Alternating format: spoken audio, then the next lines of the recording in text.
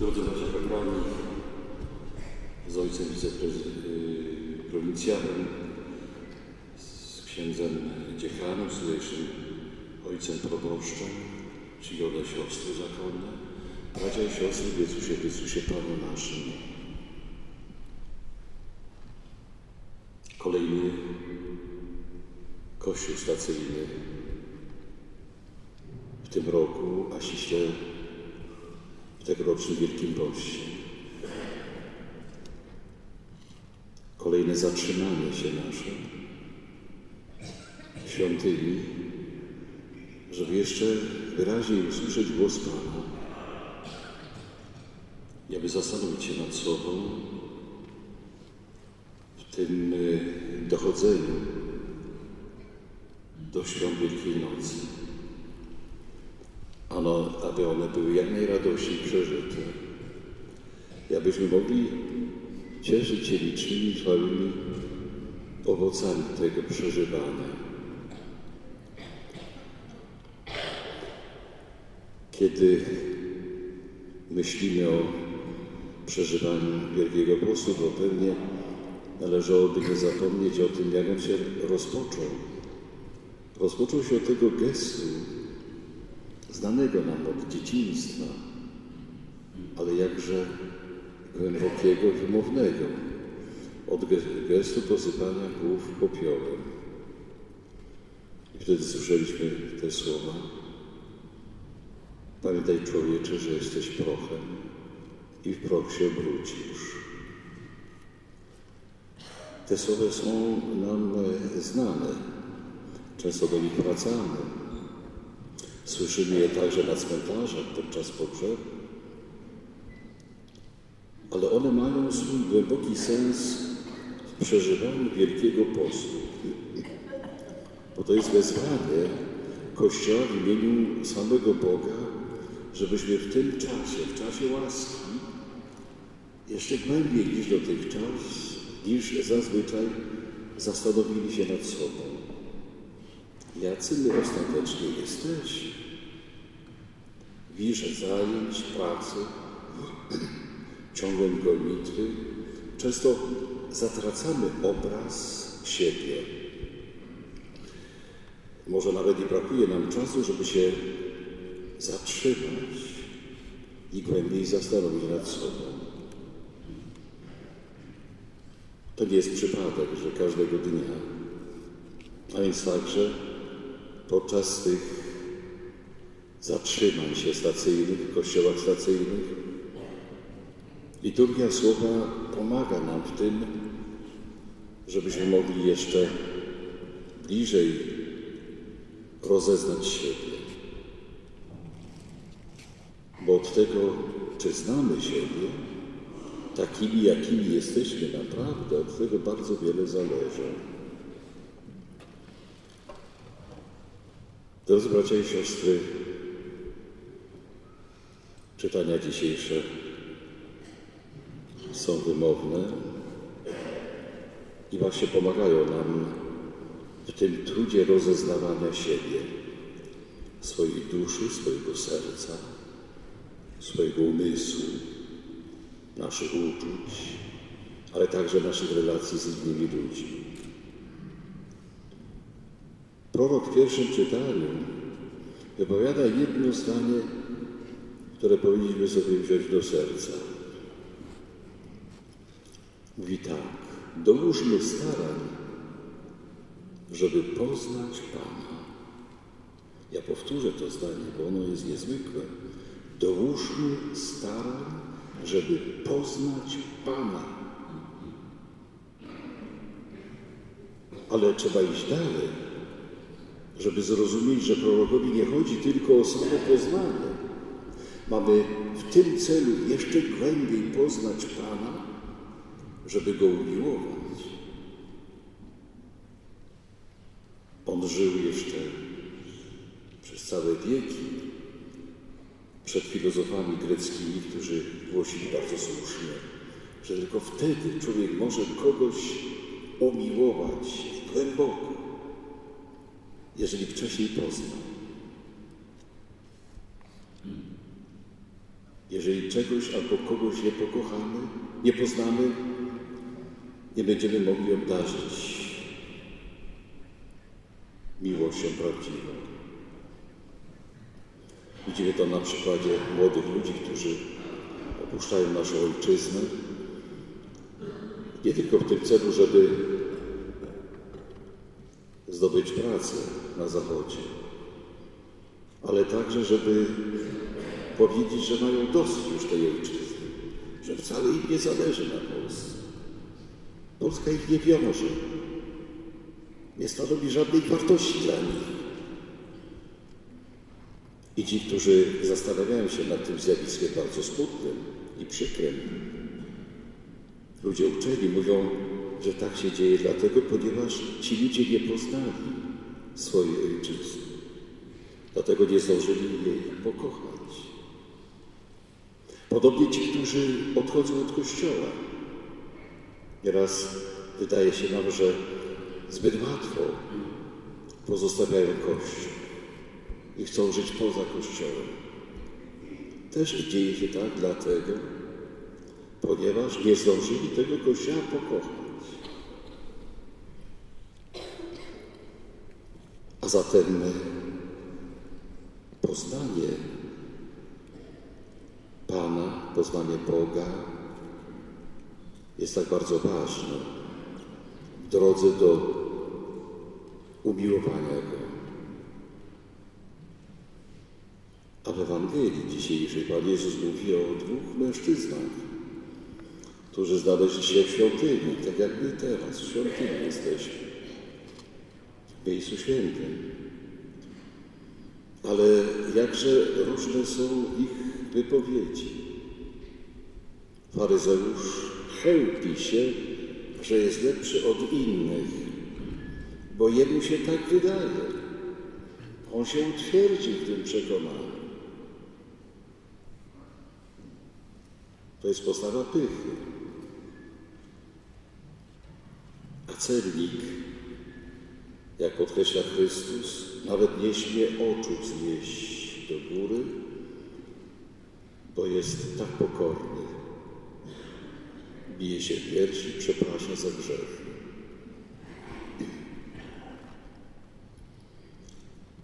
I w ten sposób dochodzimy do pytania wielkopostnego, można powiedzieć stacyjnego pytania, na które powinniśmy odpowiedzieć niekoniecznie dziś, ale w najbliższym czasie. Właśnie w tej drodze do owocnego przeżywania Wielkiej Nocy. Jaka jest moja modlitwa? Czy jestem człowiekiem modlitwy? Czy modlitwa jest tylko dodatkiem do tego, co robię? Albo jest takim wezwaniem na ratunek, jak trwoga to do Boga.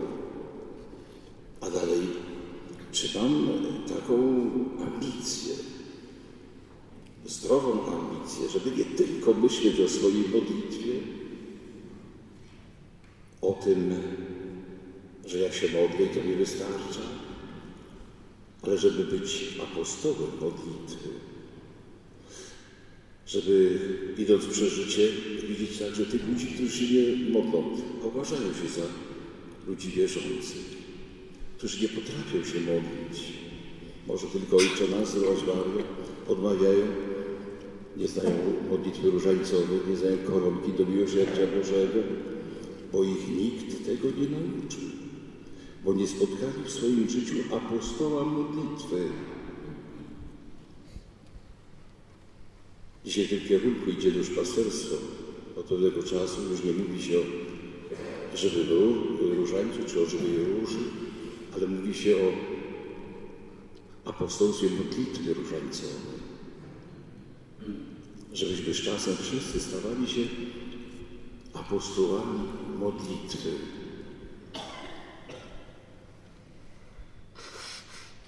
Papież Benedykt XVI, którego pożegnaliśmy, wyrażając wdzięczność za jego światły pontyfikat, zachęcał nas do modlitwy, ale nie jakieś tam przeciętne. Do modlitwy kontemplacyjnej. Zachęcam nas do tego, żebyśmy nie żałowali ciszy, żebyśmy oddawali się tej ciszy, milczeniu. Mówił, że najpierw sami wewnętrznie powinniśmy się wyciszyć. Tak wyciszyć, żeby usłyszeć swoje myśli. Bo tylko wtedy, w tej cichości serca i uczuć, będziemy mogli usłyszeć głos Pana Boga.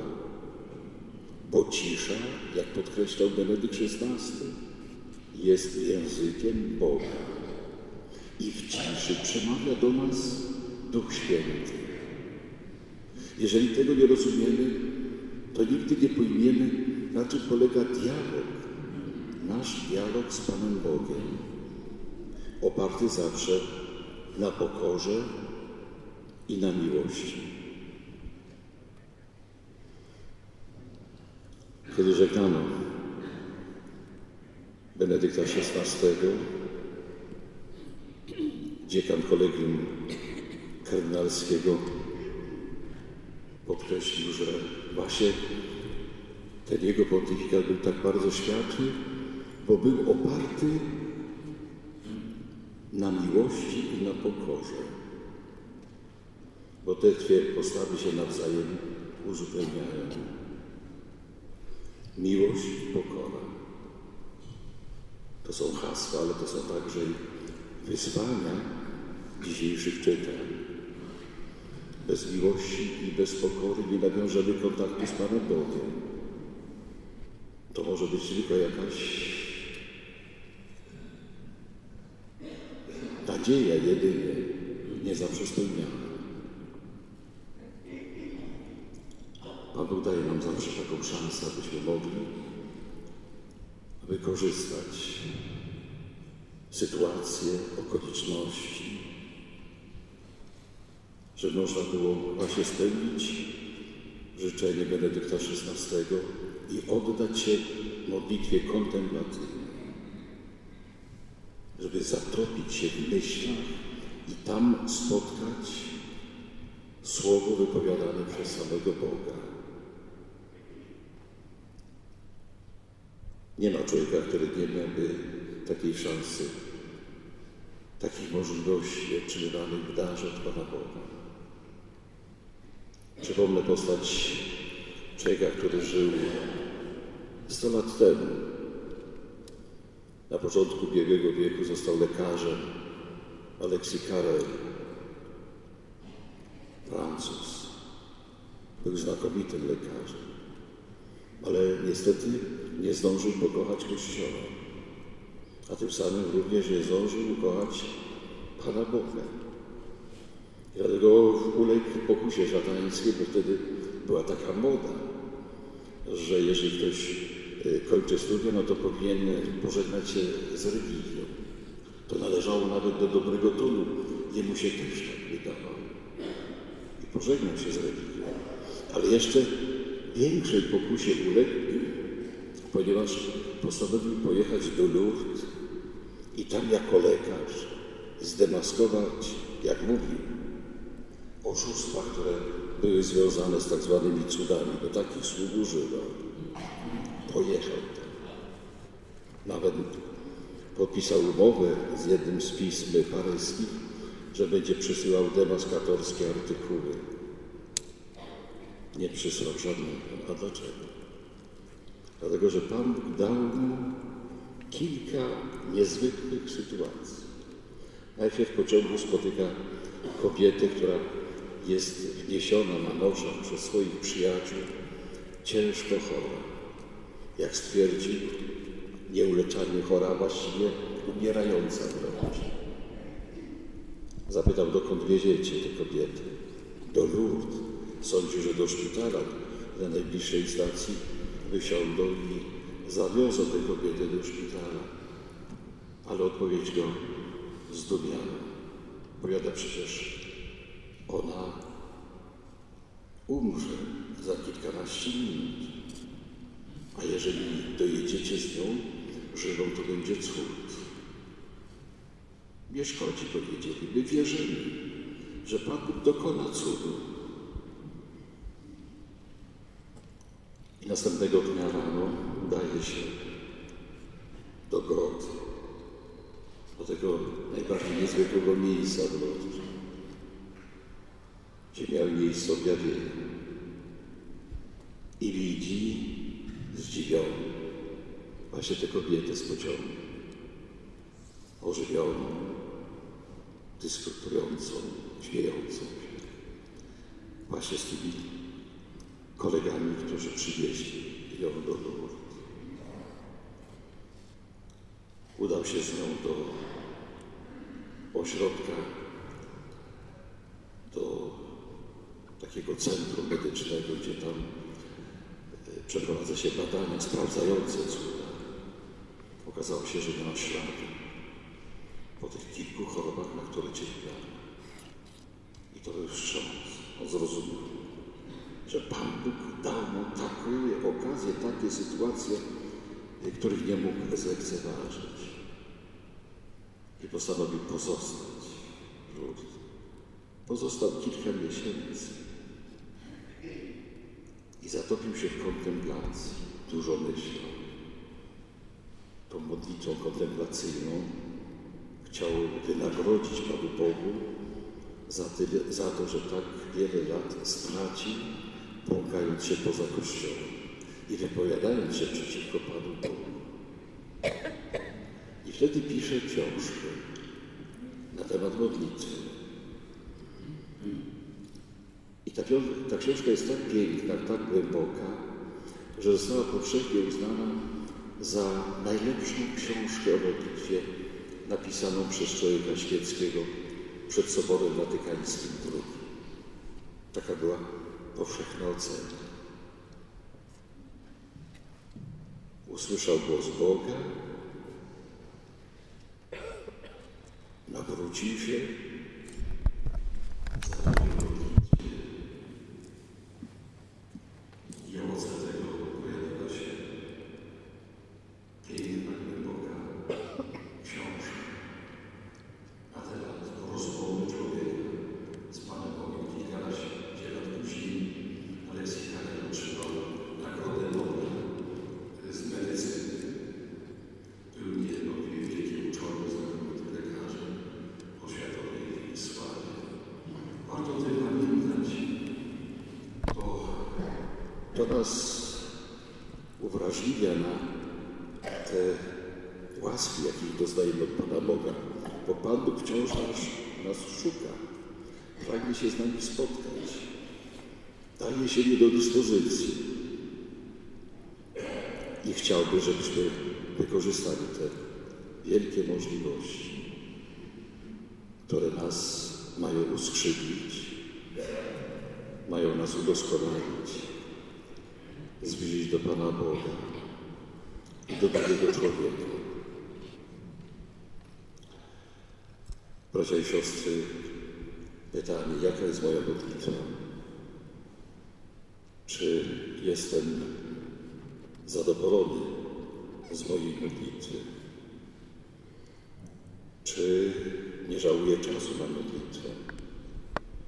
Czy również oddaję się ciszy, wewnętrznemu milczeniu, żeby w tej modlitwie wyciszenia odnaleźć Pana Boga, jeszcze głębiej Go przeżyć. I wreszcie, czy mogę sobie powiedzieć, że jestem apostołem modlitwy? Zatrzymajmy te pytania na tych kilkanaście dni, jakie nas dzielą od Wielkiego Tygodnia i od Niedzieli Zmartwychwstania Pańskiego. Niech one nurtują nasze sumienie, naszą wyobraźnię, nasze serca. Niech też z pomocą Bożej łaski przygotowują nas na dojrzałą odpowiedź, żebyśmy mieli osobistą radość i satysfakcję z tej odpowiedzi, ale żeby także ta odpowiedź była hołdem wyrażonym temu, który jest miłością i który z miłości pragnie, abyśmy byli jak najbliżej Niego i abyśmy także stawali się ludźmi coraz bardziej doskonałymi, ludźmi modlitwy, ludźmi miłości, ludźmi dobrego słowa i wzajemnej życzliwości.